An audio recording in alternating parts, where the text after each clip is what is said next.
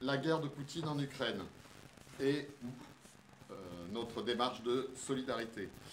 Euh, donc euh, l'invasion de l'Ukraine par les troupes de Poutine, ça a commencé le 24 février 2022, mais il y avait eu les épisodes précédents en 2014 avec l'invasion puis l'annexion de la Crimée quelques temps plus tard et l'occupation d'un tiers du Donbass, région très très industrielle de l'extrême est de l'Ukraine. Euh, donc ça fait bientôt 4 mois, ça fera 4 mois dans une semaine. Euh, l'armée russe a occupé, comme vous le savez, des parties importantes du territoire de l'Ukraine, euh, pas seulement à l'est en, grignotant le reste du Donbass, mais une bonne partie de la côte sud de, de l'Ukraine, avec en particulier la ville la plus importante, c'est Kherson.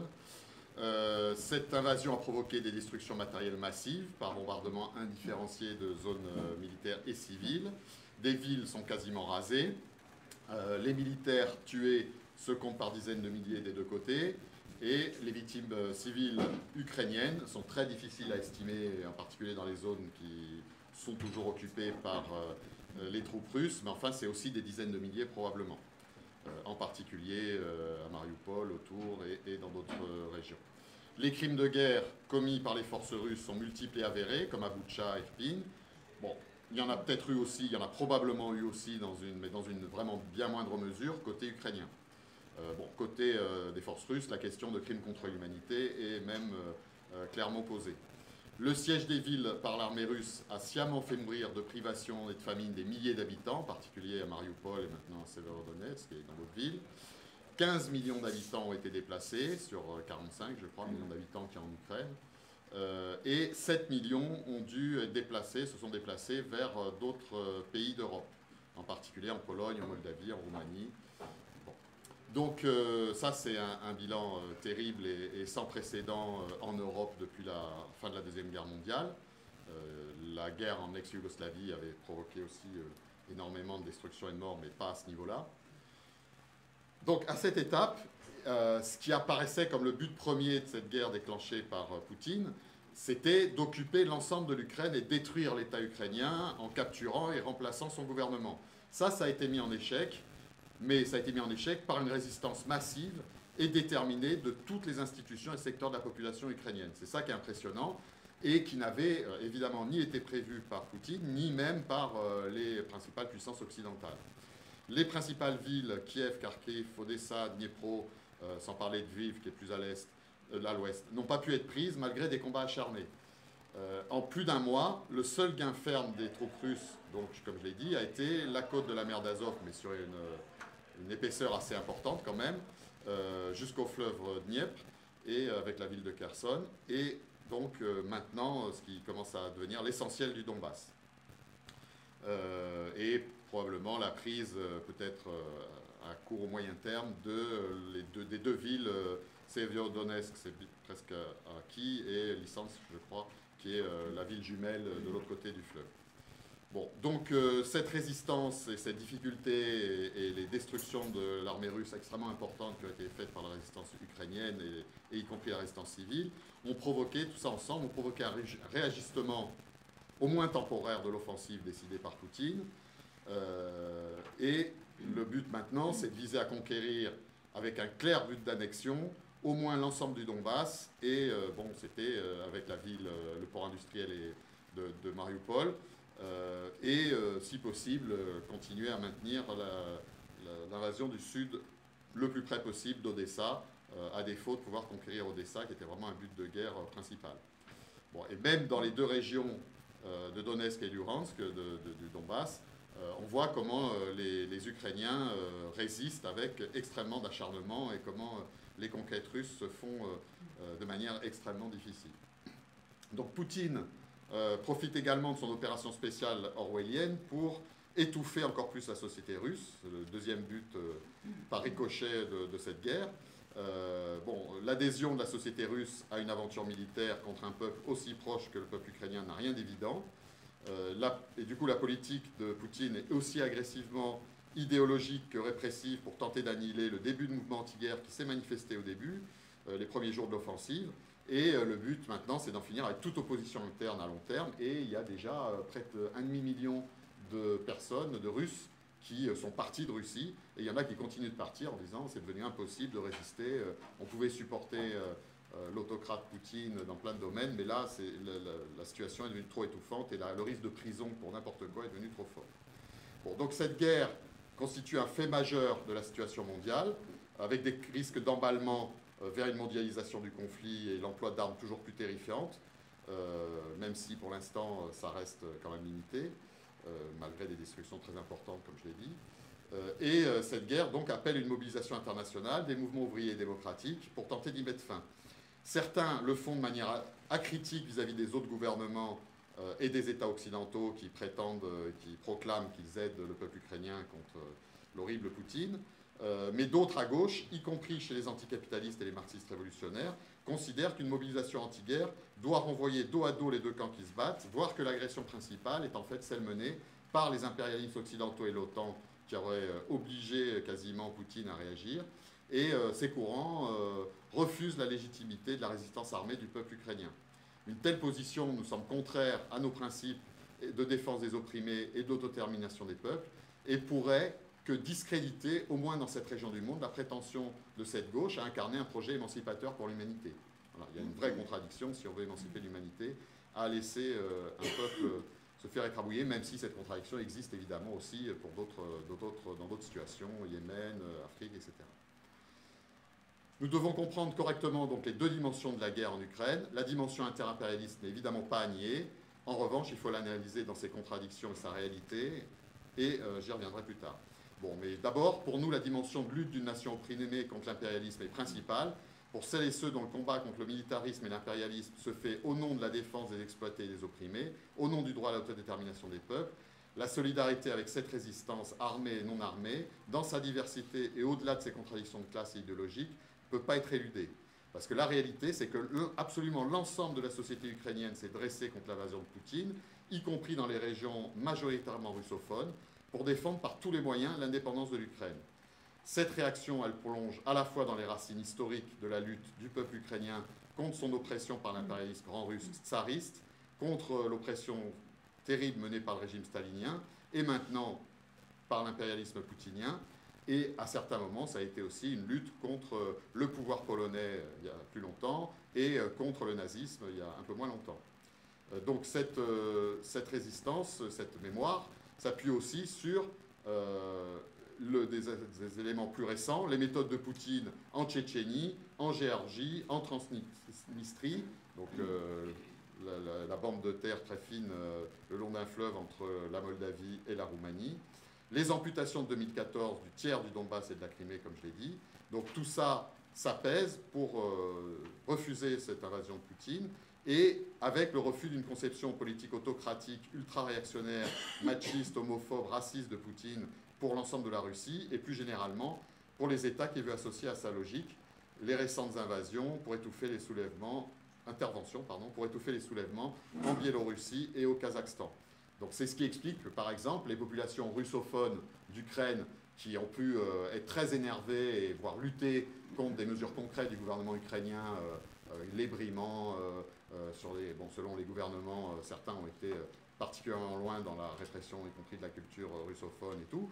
mais malgré ça, la peur de Poutine est plus forte, parce que malgré ses difficultés avec le gouvernement ukrainien, les marges de manœuvre avec ce pouvoir restaient beaucoup plus importantes qu'avec le, régime de Poutine. Donc, donc il y a tout ça qui joue pour cette résistance, qui était inattendue par tout le monde, donc. Euh, et qui a été euh, symbolisé par euh, le, président Zelensky, qui était censé être un bouffon un peu aux mains ou balé, disons balancé, brinque-ballé par ses soutiens ultralibéraux ou impérialistes ou oligarques, et qui en fait s'est transformé en symbole de cette résistance, disant dès le premier jour, répondant à, Biden qui disait oulala, c'est horrible ce que font les Russes, on est prêt si vous avez besoin à vous évacuer. Et euh, où il a immédiatement répondu, ce dont on a besoin, on va résister par tous les moyens, ce dont on a besoin, c'est des armes et pas un taxi. Euh, bon, et depuis, il est monté, évidemment, alors qu'il était un peu discrédité, il est remonté comme symbole de cette résistance. Donc, le caractère réactionnaire indéniable du gouvernement ukrainien de Zelensky est-ce un, obstacle rédhibitoire à notre soutien à la résistance militaire ukrainienne? Indéniablement, Zelensky, c'est un nationaliste bourgeois néolibéral, donc comme je le disais, associé aux oligarques pro-impérialistes et tout, mais, contradiction, il a été élu contre les candidats vraiment portés par les oligarques et contre les candidats de la corruption.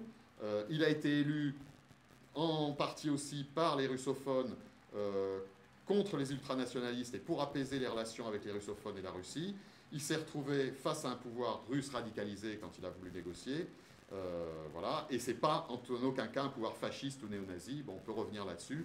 Euh, il faut toujours rappeler quand même que euh, les néo-nazis, qui, étaient, qui sont un réel problème, une force militaire en 2014 surtout et tout, quand ils sont devenus une force politique, ils se sont payés 1% aux élections, au même moment où, en Russie, rien que les plus néo-nazis obtenaient plus de 5%, et on pourrait analyser, là, une grande partie, bon, les camarades russes qu'on a, analysent le pouvoir de Poutine comme fascisant. Donc voilà. Donc il faut relativiser ces questions-là, même si on peut y revenir sur les problèmes que ça pose. donc c'est ce qui explique que ce pouvoir soit, certes bourgeois, mais pas autocratique, lui, que les syndicats et organisations de gauche se sont engagés dans la résistance armée et non armée, tout en continuant de critiquer les mesures antipopulaires du gouvernement. Et là aussi, on pourrait y revenir, mais on voit la différence avec, euh, par exemple, la gauche et les progressistes, euh, en, euh, par exemple en Irak, au moment de l'invasion de l'Irak par les États-Unis, bah, il y a moins eu de réaction chez les progressistes de se lier évidemment au pouvoir de Saddam Hussein. On n'est pas dans la même situation. donc,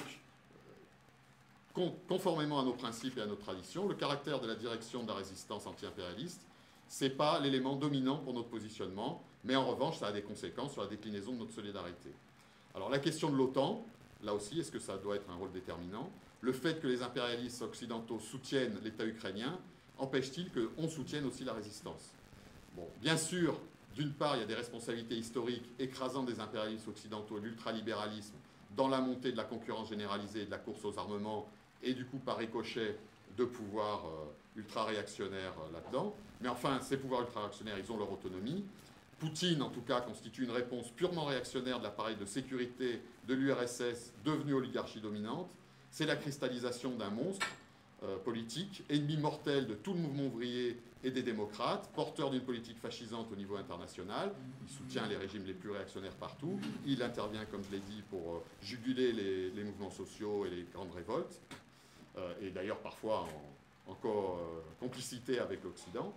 Euh, bon, et justement, il y a un débat, mais on ne peut pas dire que dans les dernières années, l'OTAN a joué l'escalade contre lui.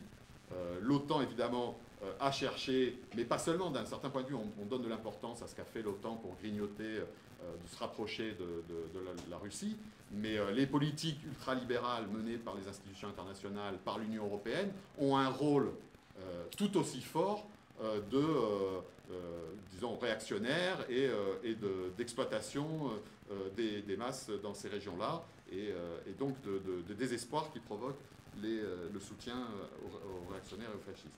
Bon, mais dans les dernières années, l'OTAN était en crise, Trump disait que c'était plus un outil utile. Macron disait que l'OTAN est en mort clinique. les seuls qui se battaient pour que l'OTAN se développe, c'était les, finalement les, régimes, mais aussi les sociétés le long de la Russie, qui, elles, voyaient ce pouvoir russe de plus en plus agressif et autocrate, et qui disaient, dans la situation actuelle, qu'est-ce qui peut empêcher la Russie d'être dans des situations où, en plus, il y a des populations, soit russophones, qui sont instrumentalisées comme dans les États baltes, soit la Pologne, qui sont toujours euh, un peu menacées sur certains aspects. Bon, c'était eux qui réclamaient le plus l'avancée de l'OTAN.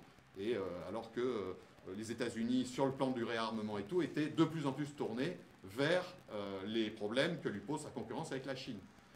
Et, euh, et c'est aussi ça qui a fait que Poutine a attaqué. C'est ce sentiment que l'OTAN, enfin là, les États-Unis, l'OTAN était bien plus occupé par autre chose, et que donc il pourrait euh, occuper l'Ukraine, que les pouvoirs occidentaux couineraient beaucoup et, feraient des grandes déclarations d'intention, mais finalement ne joueraient pas. Donc ça, plus le fait qu'ils pensaient que les Ukrainiens, bah, ils ne se résisteraient pas tant que ça, euh, explique l'offensive russe et pas un sentiment qu'ils seraient de plus en plus pris à la gorge par une agressivité des Occidentaux. Mais ça se discute. Il y a des débats, c'est tout à fait normal d'avoir ce genre de débat. En tout cas, ce qu'on voit depuis le début de la guerre, c'est que certes, il y a des aides très importantes qui sont promises par les États-Unis et d'autres États et tout, mais un, une grande partie, comme souvent, quand, euh, que ce soit de l'aide civile ou militaire, quand les pouvoirs occidentaux promettent énormément d'aide, ce qui arrive réellement sur le terrain, c'est beaucoup, beaucoup plus faible. Et ensuite, face à la deuxième armée du monde, qui en plus a une, expérience du fait que quand on a des, difficultés, on peut avoir des défaites, y compris et tout, sur la durée, la profondeur euh, de, l'État russe, etc., permet de reprendre, de, finir par gagner. Bon, c'est l'expérience de la Deuxième Guerre mondiale, mais même de la lutte contre Napoléon, etc., etc. Donc il y a ce sentiment que quand on est mis en échec sur la courte durée, euh, bah, dans les classes dominantes russes, sur la longue durée, on peut, on peut renverser les choses. Et donc ce qu'on voit aujourd'hui, c'est que malgré l'aide occidentale, euh, c'est pas faux ce que dit le pouvoir ukrainien, qu'il il manque énormément d'armes pour, euh, euh, y compris d'armes euh, locales, euh, de canons, etc., pour empêcher la poursuite de l'invasion russe. Donc ceux qui disent les, Occidentaux sont en train de surarmer les Ukrainiens, c'est bon, c'est un danger énorme.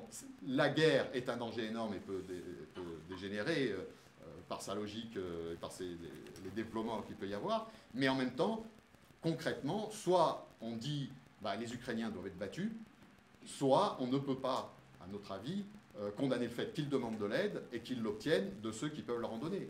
Et ce n'est pas la Chine qui va leur en donner, euh, ce n'est pas euh, l'Afrique du Sud, je ne sais pas. voilà.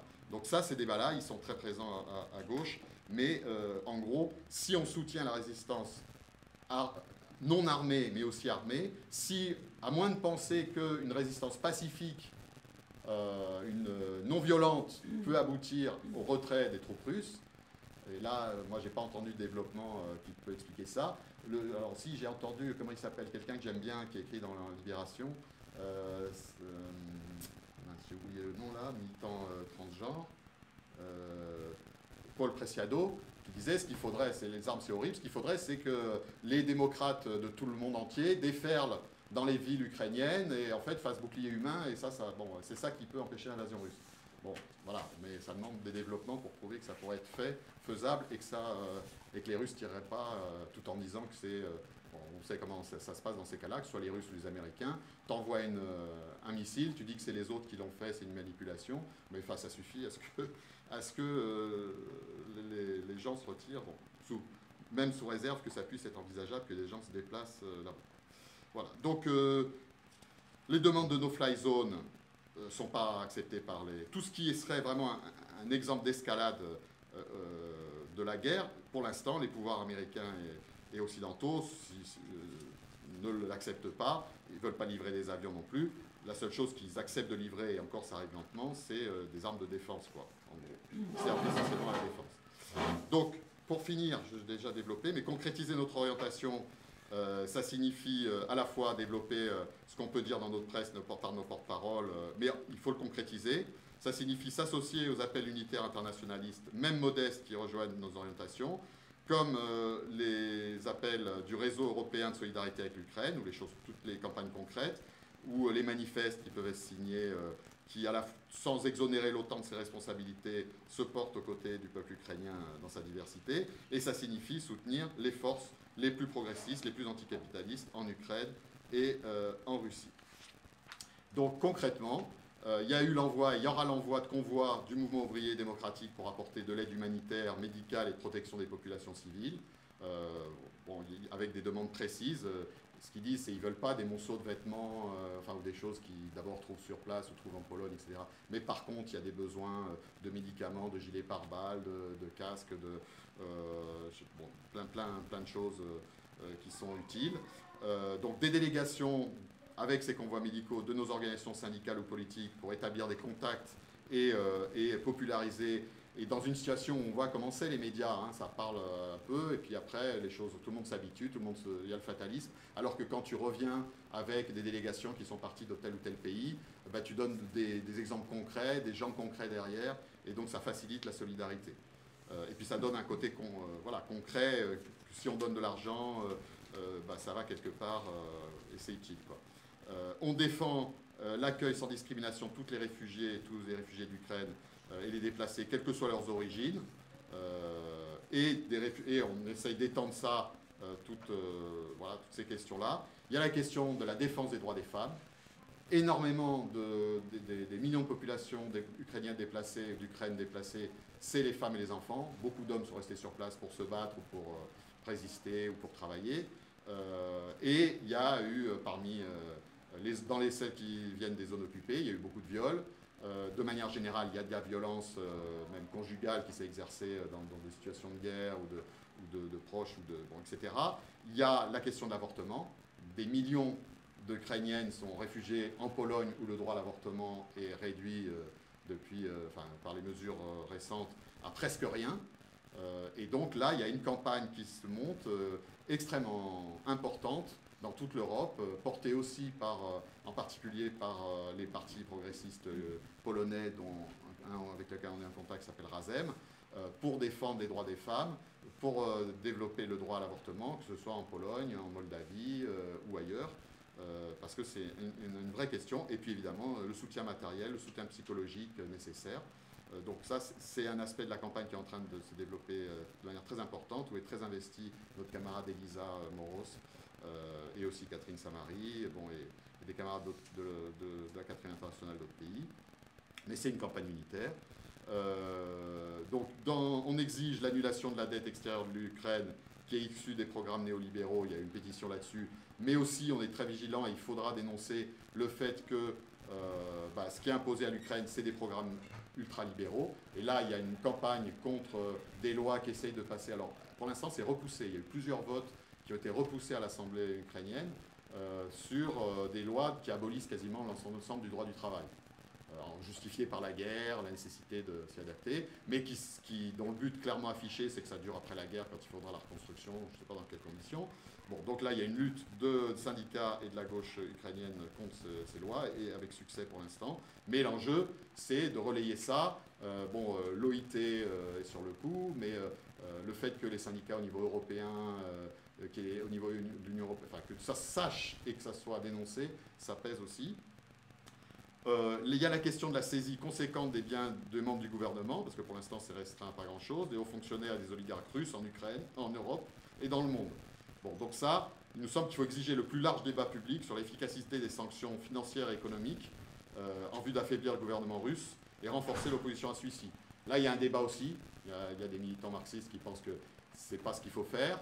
Euh, nos camarades russes disent si, si, c'est très important, parce que de toute manière, euh, bon, ils ne parlent pas de fermer au champ ou des trucs comme ça qui effectivement se tournaient vers la population.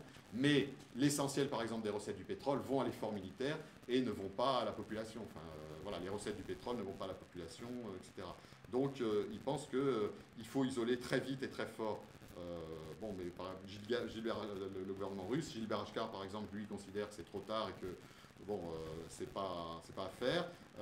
et par ailleurs, il y a d'autres oligarques dans le monde qui devraient subir ça. Bon, à, ça, on peut répondre que, bah, au contraire, de dire que c'est faisable envers les oligarques russes, ça permet de dire que c'est faisable aussi contre les oligarques euh, d'Arabie Saoudite qui continue euh, le, conflit au Yémen, enfin qui dirige le conflit au Yémen, mais y compris euh, contre François Pinault, Bernard Arnault et tout. Dans, bon, continuer sur cette logique que on peut, il est possible de saisir les biens des principaux milliardaires dans le monde s'ils s'opposent aux politiques progressistes.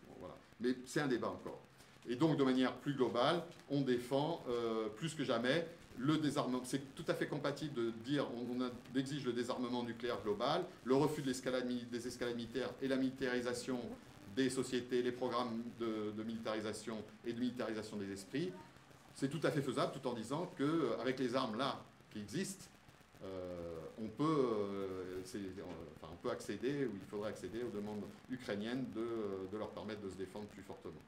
Euh, voilà j'ai un sentiment d'avoir oublié une chose importante. Oui, c'est les liens directs donc avec euh, le mouvement socialiste russe qui a dû, pour l'essentiel des militants, il en reste sur place, mais la plupart ont dû partir, mais ils essayent là de continuer à se développer euh, les liens avec la société russe par l'intermédiaire d'un site internet. Donc on fait une campagne financière, on commence pour euh, leur permettre de gérer ce site internet. depuis l'extérieur, mais destination principale de la Russie. Et puis l'organisation, le groupe Social Nirour, donc mouvement socialiste, mouvement social en Ukraine. Bon, on le connaissait parce qu'on l'avait aidé, Krivine avait été à la fondation, Catherine Samari aussi et tout ça aurait pu être un petit groupe de 30 militants, comme ça existe parfois, euh, qui essayent de peser, qui a un petit organe de, propagande, mais ça va pas plus loin. Il se trouve que c'est une vraie organisation, euh, certes petite, mais qui est très implantée dans les syndicats, euh, dans le mouvement féministe et LGBT, dans le mouvement écologiste, bon, qui est certes petit en Ukraine, tout ça est petit en Ukraine. Bon, il faut voir aussi que la gauche et le vocabulaire de gauche dans des régimes, dans des pays où ça a été utilisé par les staliniens jusqu'à plus soif, euh, c'est compliqué. Euh, et en plus, certains qui, après, ont retrouvé du crédit après la chute de, l'URSS, euh, se sont avérés être les pires oligarques et les pires corrompus. Bon, voilà, donc c'est compliqué d'être de gauche. mais la gauche anti-autoritaire existe, que ce soit donc ces camarades-là ou les anarchistes et libertaires en Ukraine, qui ont une tradition assez importante. Euh, donc là, on a des très bons liens, très bonnes relations. Donc on fait une campagne financière et matérielle de soutien. Ils sont en contact complet, c'est eux les contacts euh, principaux avec les syndicats du réseau européen de solidarité avec l'Ukraine.